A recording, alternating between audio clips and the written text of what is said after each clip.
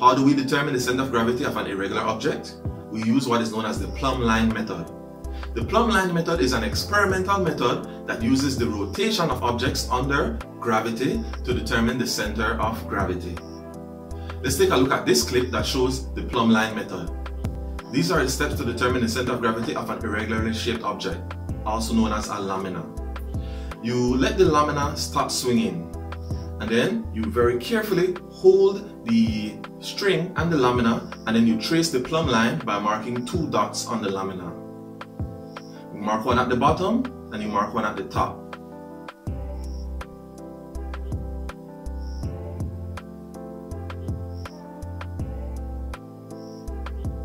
Next, you draw a cross on each dot.